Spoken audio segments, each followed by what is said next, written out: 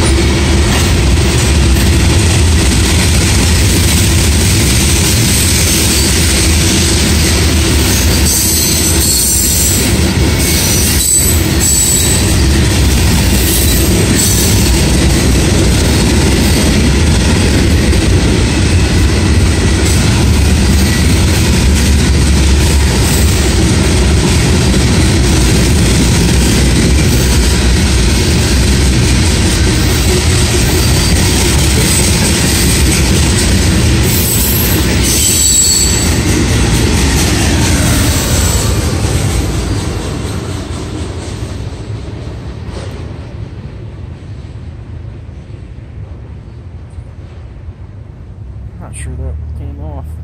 Nope.